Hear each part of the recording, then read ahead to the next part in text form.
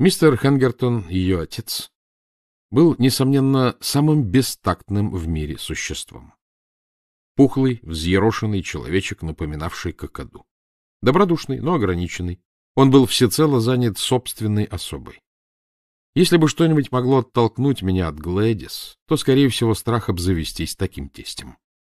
Я убежден, что в глубине души он даже мои частые три раза в неделю посещения каштанов объяснял тем удовольствием, которое мне доставляло его общество и, в особенности, его назидательные беседы о биметализме. В этом вопросе он собирался стать авторитетом.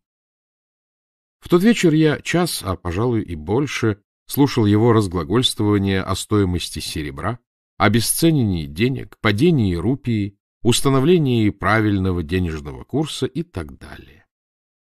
«Представьте себе!» — восклицал он с мнимой горячностью. «Что случилось бы при настоящих условиях, если бы потребовалась немедленная уплата всех долгов в мире?» Я, разумеется, ответил, что был бы разорен. Тут он вскочил с места, осыпал меня упреками в неисправимом легкомыслии заявил, что со мной невозможно говорить о серьезных предметах, и бросился вон из комнаты, чтобы спешно переодеться для масонского заседания, на которое собирался.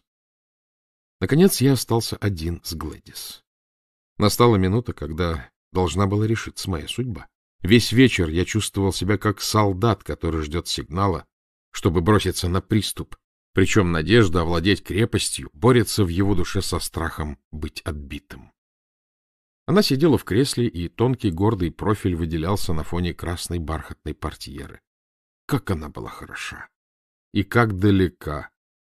Мы давно были друзьями, большими друзьями, но мне никак не удавалось перешагнуть за пределы тех чисто товарищеских отношений, какие я мог поддерживать и с моими коллегами, репортерами газеты.